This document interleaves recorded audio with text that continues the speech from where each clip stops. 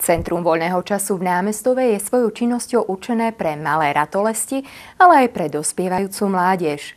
Deň detí v tomto zariadení podľa toho aj vyzeral. Centrum voľného času Majak v námestove ponúklo počas Medzinárodného dňa detí na rozdiel od úzko špecializovaných zariadení širokospektrálnu ponuku pre najmenších až po názdročných adolescentov. Najmenší mali k dispozícii impozantnú prekážkovú dráhu. Nech deti si svoju obratnosť a šikovnosť nech si cvičia, takže to je myslím, že len prospešné pre nich. Všetci pracovníci absolvovali? A ešte nie, ale pokúsime sa. ja sa chystám na záver. Hádam boli pedagogickí pracovníci pre deti vzorom a náročnú prekážkovú dráhu absolvovali príkladne. Tak Medzinárodný deň detí, či prší, či slnko svieti, deň detí musí byť. Ja som rád, že deti majú záujem jednoducho sa zúčastňovať týchto akcií a ja som povedal, že to, čo nedokážu deti, dokážeme my a čo dokážeme my, nedokážu oni.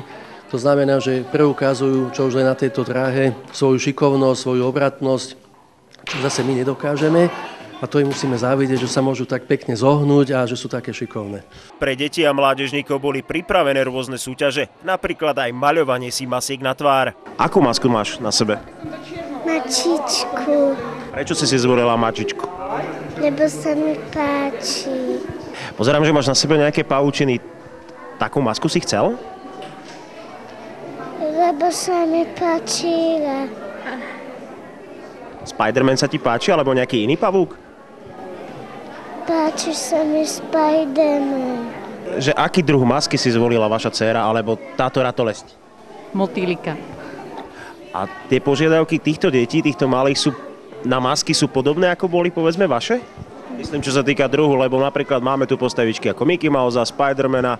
Čo ste si v ich, v ich veku želali? Určite sú iné. My sme vyrastali na včielke Maji.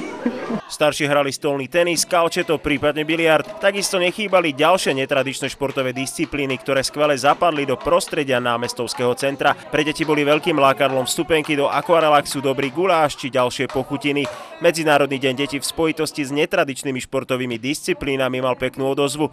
Dúfajme, že sa o rok stretneme v tak hojnom počte v námestove opäť, pretože aj keď má Centrum voľného času množstvo detašovaných pracovisk po Hornej Orave, viacerí ani nevedia, kde je samotná centrála. Pre televíziu Oravia Tomáš Brna.